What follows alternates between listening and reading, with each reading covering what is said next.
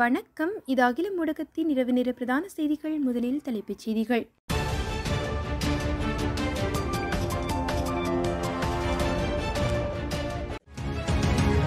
அனைவருக்கும் எரிபொருள் விநியோகம் அதிரடி அறிவித்தல்.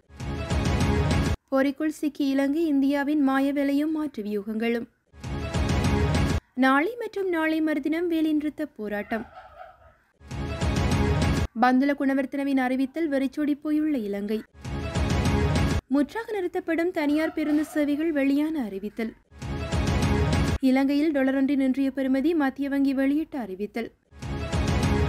யாழிலும் ஒரே நாளில் கடவு சட்டை பெற்றுக்கொள்ளலாம் புதிய திட்டம் ஆரம்பம். இலங்கையில் எரிவாயு மற்றும் எண்ணெய் வளம் அகழ்வாராய்ச்சி மேற்கொள்ள அறிவுறுத்தல். மக்களுக்கு அதிர்ச்சி அளிக்கும் வகையில் உயர்கின்றது பேருந்து கட்டணம். தாத்தா கம் ஹோம் என பதாது ஏந்துவோம் தம்மிக்கவுக்கு எச்சரிக்கை. வெளிநாடு செல்லும் பெண்கள் சார்பாக அரசாங்கம் எடுத்துள்ள முடிவு. சஜித்திற்கு பகிரங்க சவால் விடுத்துள்ள ஹரின் பதவி துறக்க தயார். காவல்துறைக்கும் ஹிரோனிகாவுக்கும் இடையில் மீண்டும் முரண்பாடு. யாழ்ப்பாண சரதேசி விமானியம் சார்பாக அரசாங்கம் எடுத்துள்ள முடிவு. மேலும் ஒரு கட்டணத்தை அதிகரிக்க அமைச்சரவை அனுமதி. இனி தொடர்வென விரிவான செய்திகள். அனைவருக்கும் எரிபொருளை தொடர்ந்து விநியோகிக்க முடிவெடுக்கப்பட்டுள்ளதாக லங்கா ஐஓசி நிறுவனத்தின் முகாமையாளர் குப்தா தெரிவித்தார். அத்தியாவசிய சேவைகளுக்கு எரிபொருள் விநியோகிக்கப்படும் என நேற்றைய தினம் அறிவிக்கப்பட்டிருந்த சூழ்நிலையில் இலங்கை பெட்ரோலிய கூட்டுத்தாபனம் இந்த கட்டுப்பாடுகளின் கீழ் நேற்று நள்ளிரவு முதல் அத்தியாவசிய சேவைகளுக்கு மாத்திரம் எரிபொருளை விநியோகிக்கும் நடவடிக்கையை முன்னெடுத்துள்ளது. இந்நிலையில் தாம் அனைவரும் எரிபொருளை தொடர்ந்து விநியோகிப்பதாக லங்கா ஐஓசி நிறுவனத்தின் முகாமையாளர் என்று தெரிவித்தார். அரசாங்கத்தின் கட்டுப்பாடுகள் எங்களுக்கு பொருந்தாது. அனைத்து வாகனங்களுக்கும் பற்றுச்சீட்டு முறை மூலம் எரிபொருள் நிச்சயமாக விநியோகிக்கப்படும் எனவும் இதன்போது அவர் தெரியப்படுத்தியிருந்தமை சுட்டிக்காட்டத்தக்கது. தமிழ் தேசிய கூட்டமைப்பின் தலைவர் ரா. சம்பந்தன் சொல்வதைப் போல் இந்த பொருளாதார சரிவானது இலங்கையில் நிலவிய போரின் விளைவுதான். அதாவது இலங்கையும் இந்தியாவும் இணைந்து தமிழர்களது மரபார்ந்த தாயக பிரதேசங்களை பிரதேசங்களை அளிக்க மேற்கொண்ட போரின் விளைவுதான் இது. மகாவம்ச வெள்ளையின் கூட்டு வெளிப்பாடு. இலங்கை அரசிற்கு இயக்கமான வடக்கு கிழக்கு இணைந்து தமிழர் தாயகத்தை முற்றாக அளித்து அதனை சிங்கள தேசமாக மாற்றிக்கொள்ள வேண்டிய தேவை இருந்தது. ராமனின் தேசம் என ஐதீகப்படுத்தி வைத்திருந்த இலங்கை தேசத்தை அரசியல் பொருளாதார பண்பாட்டு தளங்களில் தமது இருபத்தி ஆறாவது மாநிலமாக மாற்றிக்கொள்ள வேண்டிய தேவை இந்தியாவிற்கு இருந்தது இவ்விரு தரப்பினர் தேவைகளுக்கும் தமிழர் தாயகத்தை அமைக்க உண்மையாக போராடும் அனைத்தரப்பினர் எதிரியாக இருந்தனர் இருந்து வருகின்றதாக ஊடகம் ஒன்று செய்தி வெளியிட்டது.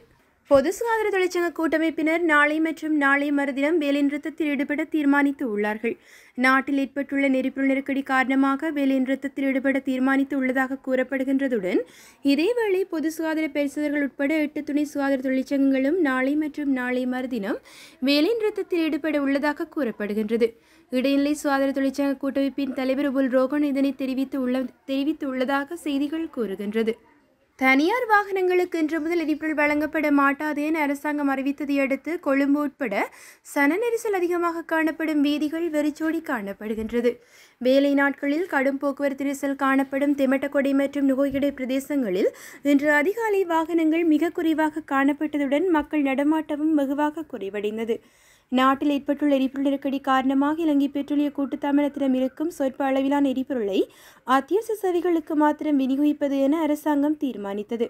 இந்த தீர்மானம் நேற்று நள்ளிரவு முதல் நடைமுறைக்கு வந்துள்ளதுடன் எதிர்வரும் ஜூலை பத்தாம் தேதி வரை அத்தியாவசிய சேவைகளுக்கு மட்டுமே எரிபொருள் விநியோகிக்கப்படும் எனவும் தனியார் வாகனங்களுக்கு எரிபொருள் விநியோகிக்கப்பட மாட்டாது எனவும் அமைச்சர் பந்துல குணவர்த்தன அறிவித்திருந்தார்.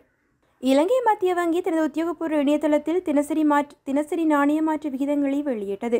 இன்றைய நாணய மாற்று விகிதங்கள் அமெரிக்க டாலரினுடைய கொள்ளன விலை முன்னூற்றி ஐம்பத்தி ஆறு ரூபாய் இருபத்தி மூன்று சதமாகவும் விற்பனை விலை முன்னூற்றி அறுபத்தி ஏழு ரூபாய் நாற்பது சதமாகவும் பதிவானது.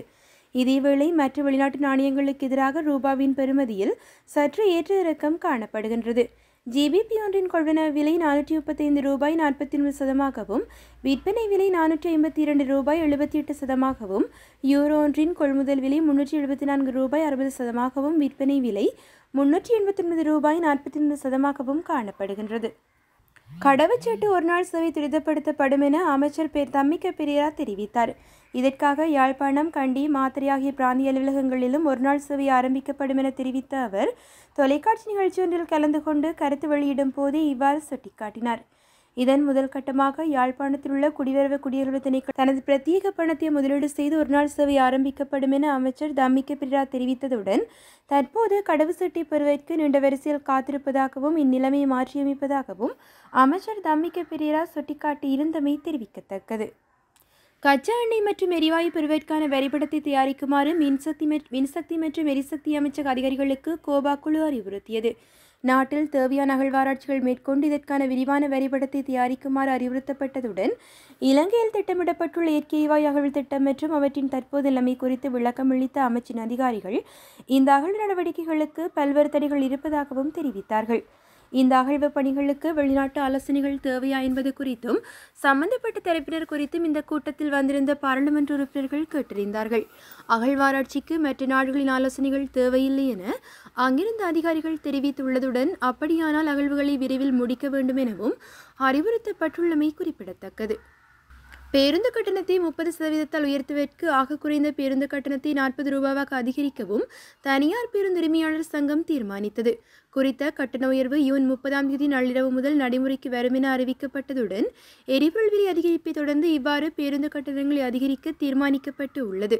போக்குவரத்து அமைச்சர் மற்றும் தனியார் பஸ் உரிமையாளர் சங்கத்திற்கு இடையில் இடம்பெற்ற பேச்சுவார்த்தையின் போதே குறித்த தீர்மானமானது எட்டப்பட்டுள்ளது. நாட்டில் எதிர்வரும் ஆறு மாதங்களில் மாற்றத்தை ஏற்படுத்துவதே தனது இலக்கு என அமைச்சர் தம்மிக்க பெரேரா தெரிவித்தார். இலங்கையில் உள்ள பிரபல கோடீஸ்வர வர்த்தகரான தம்மிக்க பெரேரா சில தினங்களுக்கு முன்னர் பாராளுமன்ற உறுப்பினராக பதவியேற்ற நிலையில் அவருக்கு முதலீட்டு ஊக்குவிப்பு அமைச்சர் பதவி வழங்கப்பட்டது. இவர் மஹிந்த அரசு நெருங்கிய நபராக உள்ள நிலையில் நாட்டின் பொருளாதாரத்தை வலுப்படுத்தப் போவதாக அறிவித்து அமைச்சர் பதவியை பெற்றுள்ளமை தெரிவிக்கத்தக்கது. இந்நிலையிலேயே அவர் ஆறு மாதங்களுக்குள் நாட்டில் மாற்றத்தை ஏற்படுத்தப் போவதாக அறிவித்ததுடன் மேலும் நாட்டு மக்களின் பசியை போக்க முடியவில்லை என்றால் அதிகாரத்திலிருந்து அர்த்தமில்லை என தனது தாயார் தெரிவித்ததாகவும் தொலைக்காட்சி ஒன்றுக்கு வழங்கிய நேர்காணலின் போதே அவர் இவ்வாறு தெரிவித்திருந்தார். மேலும் இவர் இவ்வாறு செய்யவில்லை என்றால் தாத்தா கம் ஹோம் என பதாதை ஏந்துவோம் என தம்பிக்கு பீராவுக்கு எதிராக எச்சரிக்கையும் விடுக்கப்பட்டுள்ளது. வேலை வாய்ப்புகளுக்காக வெளிநாடு செல்லும் பெண்களின் குடும்ப பின்னணி சார்பான அறிக்கையை சமர்ப்பிக்க வேண்டிய அவசியமில்லை என அமைச்சரவை தீர்மானித்தது. வேலை வாய்ப்புகளுக்காக வெளிநாட்டுக்கு வேலைக்கு செல்லும் பெண்கள் தமக்கு இரண்டு முதல் ஐந்து வயதுக்குட்பட்ட பிள்ளைகள் இல்லை என்பதை உறுதிப்படுத்துவதற்கான குடும்ப பின்னணி அறிக்கையை அவசியம் சமர்ப்பிக்க வேண்டும் எனும் சட்டம் முன்னர் இருந்தது. இந்த கட்டுப்பாடு பெண்களின் தொழிலுரிமைகளை பாதிப்பதாக பல மகளிர் அமைப்புகள் சுட்டிக்காட்டி வந்தது. வெளிநாடு செல்லும் தகுதிகளை கொன்றாத சில பெண்கள் போலியான குடும்ப பின்னணி அறிக்கையை சமர்ப்பித்து சட்டவிரோதமான முறையில் வெளிநாடு செல்லும் போது பல பிரச்சனைகளை எதிர்கொள்வதாகவும் தொழிலாளர் மற்றும் வெளிநாட்டு வேலைவாய்ப்பு அமைச்சர் நேற்றைய தினம் அமைச்சரவை கூட்டத்தில் அறிவித்திருந்தமை குறிப்பிடத்தக்கது. நாடு தற்போது எதிர்நோக்கியுள்ள நெருக்கடியான சூழ்நிலையிலும் எதிர்க்கட்சியினர் அரசியல் செய்யப்போவதாக அமைச்சர் ஹரின் பெர்னாண்டோ குற்றம் சுமத்தினார். அதேவேளை எதிர்க்கட்சித் தலைவர் சஜித் பிரேமதாசவிற்கும் பகிரங்க சவால் விடுக்கப்பட்டிருந்ததுடன் மூன்று நாடுகளிலிருந்து தன்னால் எரிபொருளை கொள்ளன செய்ய முடியும் என எதிர்க்கட்சித் தலைவர் சஜித் பிரேமதாச அறிவித்திருந்தார். இந்நிலையிலேயே நாட்டு நலன் கருதி அவர் இதனை செய்ய வேண்டும் என அமைச்சர் ஹரின் பெர்னாண்டோ தெரிவித்ததுடன் மேலும் சஜித் பிரேமதாஸ் அவ்வாறு எரிபொழியை கொள்ளனவு செய்தால் அமைச்சர் பதவியை ராஜினாமா செய்யத்தான் தயார் எனவும் ஹரின் பெர்னாண்டோ சுட்டிக்காட்டியிருந்தமை தெரிவிக்கத்தக்கது. ஐக்கிய பெண்கள் சக்தியின் தேசிய அமைப்பாளரும் முன்னாள் பாராளுமன்ற உறுப்பினருமான ஹிருணிகா பிரேமச்சந்திரவிற்கும் ஸ்ரீலங்கா காவல்துறையினர் இடையூறு ஏற்படுத்தியுள்ளார்கள். குற்றப்புலனாய்வு திணைக்களத்திற்கு சென்று திரும்பிக் கொண்டிருந்த நிலையில் அவரின் போக்குவரத்தை தடுக்கும் வகையில் காவல்துறை தடைகளை ஏற்படுத்தி செல்ல விடாது தடுத்துள்ளார்கள். அரசு தலைவர் மாளிகை அமைந்துள்ள பகுதியினால் பயணித்துள்ள போது அவரை கண்ட காவல்துறையினர் வீதி தடைகளை ஏற்படுத்தியுள்ளதுடன் ஏன் செல்ல விடாது தடுக்கின்றீர்கள் என வினவி போராட்டத்தில் ஈடுபட்டு உள்ளார்கள் இதனால் குறித்த பிரதேசத்தில் மிக பதற்றமான சூழ்நிலை ஏற்பட்டு இருந்தது யாழ்ப்பாணம் சர்வதேச மாநிலத்தில் சர்வதேச செயற்பாடுகளை மீள ஆரம்பிக்க அமைச்சரவை அனுமதி வழங்கியது. இதன்படி எதிர்வரும் முதலாம் தேதி முதல் நடைமுறைக்கு வரும் வகையில் குறித்த நடவடிக்கை முன்னெடுக்கப்பட உள்ளதுடன் யாழ்ப்பாணம் சர்வதேச மாநிலத்தின் நாடுகளுக்கு இடையிலான தொழிற்பாடுகள் இரண்டாயிரத்தி பத்தொன்பதாம் ஆண்டு நவம்பர் மாதம் பதினொன்றாம் தேதி ஆரம்பிக்கப்பட்டு இருந்தது. இருப்பினும் கொரோனா தொற்றிலமையினால் அந்நடவடிக்கைகள் இரண்டாயிரத்தி இருபது மார்ச் மாதம் பதினைந்தாம் தேதி வரை தற்காலிகமாக பிற்போடப்பட்டு இருந்தது. இந்நிலையில் குறித்த விமான நிலையத்திலிருந்து தென்னிந்திய விமான நிலையம் வரைக்கும் வாடகை விமான